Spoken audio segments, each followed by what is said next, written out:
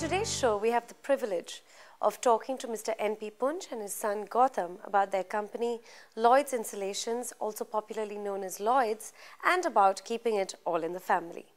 Thank you so much for joining us. It's a Thank pleasure you. to be here in Delhi. Mr. Punj, let's start with you. Uh, let's talk about the history of the company. Well, uh, my father got into business in the year 22 23 in Calcutta. He got into the coal business with another gentleman, Lala Devanchan, in those days. And thereafter, he moved to Delhi sometimes in 25 26 and started a company around that period under the name of so-called English Sanderson and Company, because my elder brother's name uh, was named as Sudarshan Punj.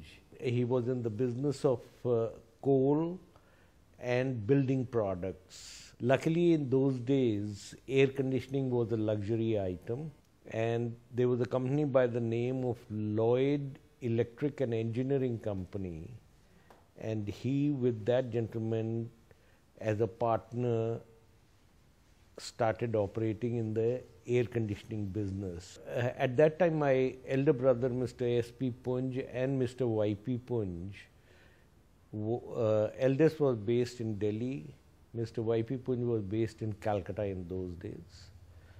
And at that time, the Bhakra job and uh, dam was under construction. And at that time, they found that a big advertisement asking for supply and purchase of insulation material. And from there, we got into the insulation business.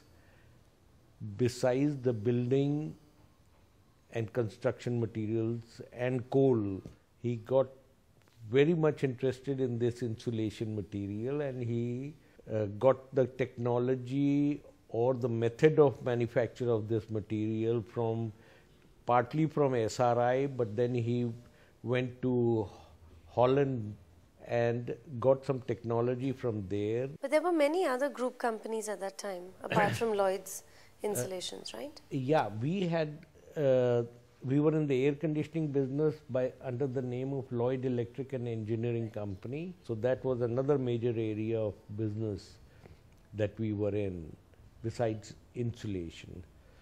But And of course, building and construction. and building and construction materials, we had agencies of cement and uh, uh, limestone and other areas of the uh, various mining people in uh, mainly in uh, eastern part of India. there was a family split that happened 20 Well, years ago. I won't say it was a split, but it was a very comfortable. We thought because we were seven brothers yeah. and their sons had started coming back From from university and wanted to get in into the USA business. and other Yeah. areas. And a couple of us thought that it would be better if we concentrate and get them interested by segregating the, The divisions. Yeah.